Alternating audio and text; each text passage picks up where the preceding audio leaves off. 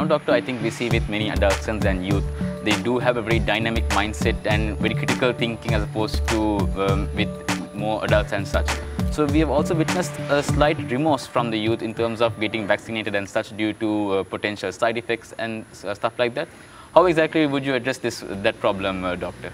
To be honest, I'm a bit disappointed with the youth mm -hmm. generation because I thought uh, people in my age will be scared to get vaccinated. Okay, that is understandable because some of us have some other disorders as well. But I thought from 20 to 30 year olds, they yeah. will be flocking to get the vaccination.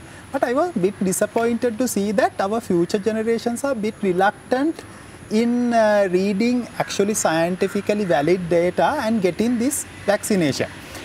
Obviously, there was some confusion about the type of vaccine, mm -hmm. but what World Health Organization is telling is that get the vaccine you can get earliest as possible, possible. because all the vaccines that were available in Sri Lanka were approved by the World Health Organization and they have been used in other countries and they have proven to be successful in bringing down the severity of the illness. So because of that, it is important to get your vaccination. So if any youth who didn't get vaccinated, please get vaccinated soon as possible. It's very exactly. important.